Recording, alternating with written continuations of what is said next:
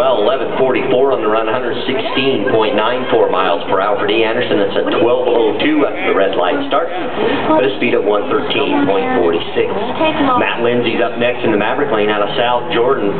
Caravan run alongside Linda Panunzio out of Plain City. Linda part of. Features her son Shanti and husband Mike. Camaro gets there first, 1510, 92.78 miles per hour.